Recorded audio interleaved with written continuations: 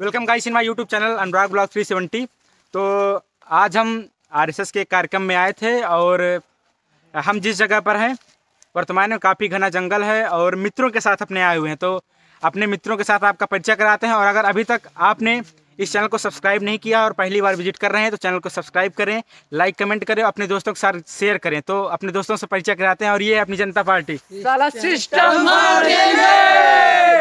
जैसा कि आप देख रहे हैं बंदे इलविस यादव को फुल सपोर्ट कर रहे हैं और इलविस यादव का ही डायलॉग सिस्टम फाड़ फाड़ देंगे देंगे।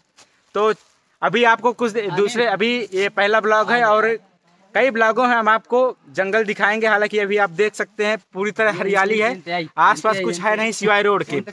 और आपने सुना होगा ठुकिया डाकू नाम का एक डाकू था अपने इधर बिहार क्षेत्र में।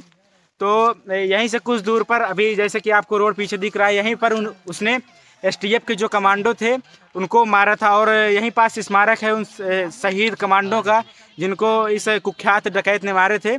और आज इस जंगल के भ्रमण करने का आशा यह था कि अपने देश की संस्कृति को और जाना जाए। और क्योंकि देखिए, सभी नए युवा हैं और इन नए युवाओं के साथ आज हम आए हैं तो इनसे कुछ पूछेंगे और ये जवाब देंगे। तो आप लोगों को कैसा लगा यहाँ आकर? बहुत नहीं आप अपने भी हैं आप अपने अपने आप अपने अपने सुविचार बता सकते हैं एक करके अगर अभी कोई बचाना चाहे। भाई। हमारा सुविचार ये है कि यहाँ भालू शेर गीदड़।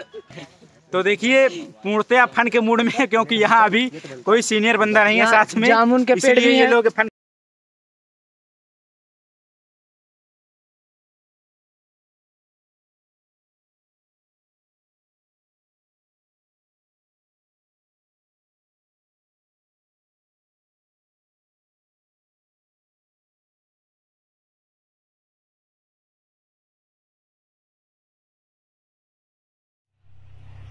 तो आप देख सकते देखिए ये कुल्हा बाबा का आश्रम है और बजरंग बली का मंदिर है। देखिए, यहाँ के अमरूद, देखिए, ये इधर अनार का पेड़ लगा हुआ है, इधर अमरूद का पेड़ है, और ये देखिए, नींबू का पेड़ है। और ये देखिए, और नींबू, देखिए, कितना बड़ा साइज़ है इस नींबू का। ये देखिए।